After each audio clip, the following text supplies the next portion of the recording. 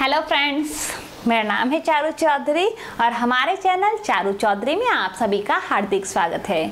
दोस्तों, जैसा कि मैं आपसे अपनी कई वीडियोस में पूछ चुकी हूँ, आपको किससे रिलेटेड वीडियोस ज़्यादा चाहिए कौन सा सब्जेक्ट जो है वो आप पढ़ना चाहते हैं, कुछ जीके की शॉर्ट ट्रिक्स पढ़ना चाहते हैं, या फिर नेट एग्ज़ाम की प्रिपरेशन कराती रहूँ or motivational videos Hindi grammar किस पे मुझे ज़्यादा फोकस करना है प्लीज़ मुझे कमेंट बॉक्स में लिखें।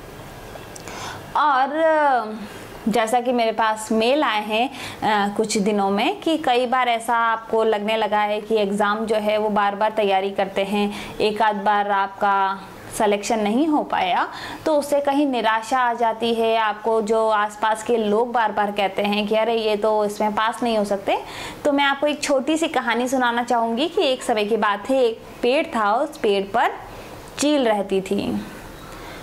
और उसी पेड़ के नीचे एक मुर्गी रहती थी। चील ने भी अंडे दिए और मुर्गी ने भी अंडे दिए। अचानक ऐसा हुआ कि चील का अंडा जा पड़ा मुर्गी के अंडों में और मुर्गी को ऐसा लगने लगा कि ये मेरा ही अंडा है। अंडे फूटे, मुर्गी बाहर आए और साथ में वो जो चील का बच्चा था वो भी बाहर आया। उस बच्चे को लगने लगा कि मैं मुर्गा ही हूँ और मुर्गी को भी लगा, ये मेरा ही बच्चा है। वो ऐसे ही दाना चुगता वहीं घूमता, खोदता और उन मुर्गे के बच्चों के साथ में रहता था। अचानक से उस मुर्गी बच्चे को देखा कि आसमान पे एक चील उड़ रही थी। तो बाकी बच्चों ने पूछा कि ये जो बच्चा है, उसके जैसा जो पक्षी है, वो ऊपर उड़ रहा है। ये क्या है? तो मुर्गी ने बताया कि ये चील है। और वो उसको देखता रहा और वो उसी तरीके का जीवन यापन करता रहा। और वह मुर्गे की ही तरह उसने अपना जीवन जो है वो समाप्त भी कर लिया। तो दोस्तों हम क्या हैं, उसकी पहचान हमें होना बहुत ज़रूरी है। हम जिस ग्रुप में रहते हैं, वो हमें अधिकांशतः डिमोटिवेट कर देते हैं। और कई बार आपने देखा होगा, एक दो बार सिलेक्शन नहीं हो पाया तो सभी जो लोग हैं, वो आपको हमेशा कहते हैं कि, अरे, छोड़ो, इस एग्ज़ाम को क्या पढ़ना है इसमें? इसमें तो सिलेक्शन ही नहीं होता। एक जो बहुत ही फिक्स है कि, अरे कंपटीशन बहुत तगड़ा है।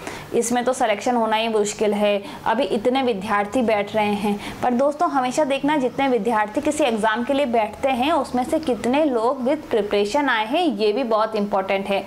कई सारे लोग एग्ज़ाम के फॉर्म भरते हैं और प्रिपरेशन नहीं होती है। इस कारण फिर वो क्या करते हैं? बस एग्ज़ाम दे के आ गए या फिर छोड़ देते हैं। तो आप अपनी प्रिपरेशन के साथ पर खुद पे भरोसा रखिए, आप क्या कर सकते हैं, आप क्या हैं? ऐसी कोई भी चीज़ नहीं है दुनिया में जो आप नहीं कर सकते। तो प्लीज़ जो लोग आपको कहते हैं कि कंपटीशन बहुत बढ़ता जा रहा है। अभी गवर्नमेंट एग्ज़ाम्स की प्रिपरेशन जो है, वो बहुत ही हार्ड हो गई है। सिलेबस बहुत हार्ड है। कहीं से भी उठा के दे देते हैं।